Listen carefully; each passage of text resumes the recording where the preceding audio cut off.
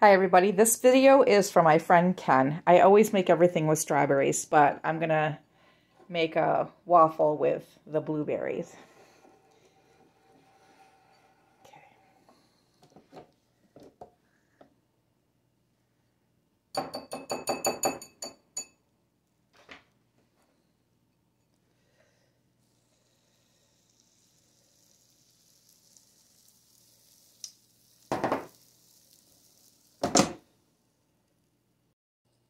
Okay, it's been a couple minutes. I'm going to check this waffle.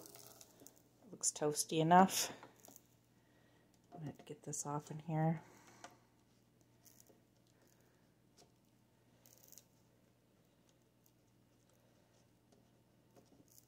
I really need two hands. I'm going to pause this a second. Okay, and since I don't have ice cream this time, I usually like to put a scoop of vanilla ice cream on a hot waffle.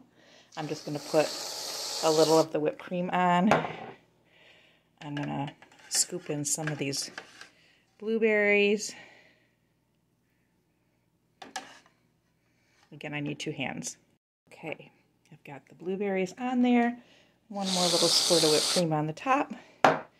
And one blueberry waffle for you, Ken. Enjoy!